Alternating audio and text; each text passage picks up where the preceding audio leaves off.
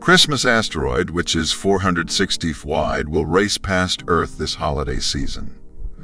The object will make its closest approach to our planet on Thursday, coming within 420,000 miles. 680,000 km. Between now and December 19, stargazers in the southern hemisphere will have the finest view of the asteroid, but those in Europe will also be able to see it. Astronomers are invited to find and photograph the space rock 2015 RN35 to mark its close approach. In a blog post on its website, the agency said, We don't call this a challenge for nothing. As the Star of Bethlehem once did millennia ago, 2015 RN35 won't shine as brightly in the skies. The size of this asteroid is similar to that of the Statue of Liberty. A flyby at just under twice the distance to the moon is unlikely to make newspaper headlines.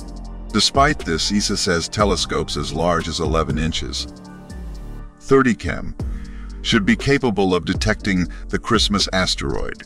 We look forward to seeing your observations, stated the agency. Use the hashtag ESAChristmas asteroid on social media to share your results, which we will share on our ESA Operations channel.